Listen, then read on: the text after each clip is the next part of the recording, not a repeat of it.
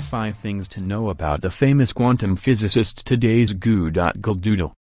Today, December 11th, would have been Max Born's 135th birthday.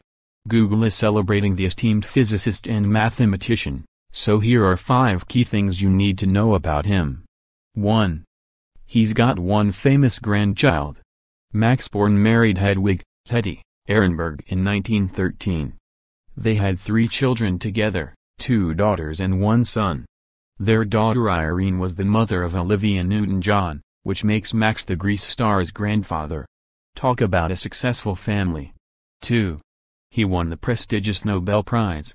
Max shared the Nobel Prize for Physics with Walter Bothe in 1954. Max won for his fundamental research in quantum mechanics, especially for his statistical interpretation of the wave function. Walter won for the coincidence method and his discoveries made therewith. 3. He's best known for the Born rule. The Born rule is a quantum theory that uses mathematical probability to predict the location of wave particles in a quantum system, according to Max's Google Doodle bio page. 4. He was forced to flee Germany in the 1930s. The Nazi Party rose to power in 1933 and Max was one of six Jewish professors at the University of Göttingen suspended that year. He left Germany for England that year.